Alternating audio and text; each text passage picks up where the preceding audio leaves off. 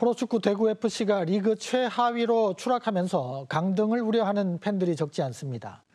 A매치 휴식기를 맞은 대구FC는 팀을 재정비해서 재도약한다는 포부를 밝혔습니다. 권기준 기자입니다.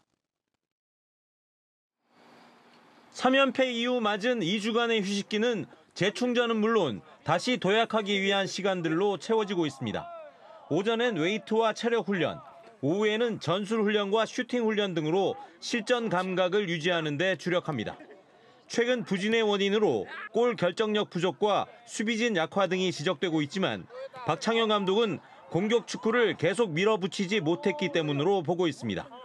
따라서 오는 16일 제주와의 홈 경기에서는 두 골을 먹더라도 세 골을 넣는 공격 축구로 팀 컬러를 되돌릴 계획입니다.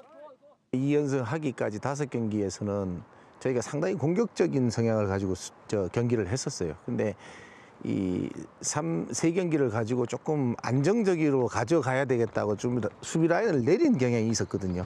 저는 이제 그게 패착이었다고 생각을 해요. 3연패를 기록하며 리그 최하위로 내려갔지만 팀 분위기는 크게 가라앉아 있지 않고 다시 해보자는 화이팅의 목소리가 큽니다. 말년 휴가를 받은 상태에서 팀 훈련에 합류한 정치인이 다음 달 중순 본격 가세하고 6월 이적 시장에서 외국인 선수를 보강하며 여름철에 강한 세징야와 에드가도 컨디션을 최대치로 끌어올리고 있습니다. 저는 아직 단 한 번도 강등이라고 생각해 본 적도 없어요.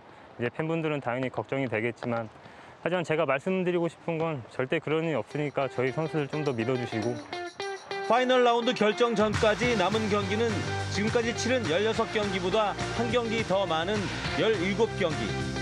휴식기에서 분위기를 추스른 대구가 다시 반등하는 모습을 보여줄 수 있을지 팬들의 관심이 집중되고 있습니다. KBS 뉴스 권기준입니다.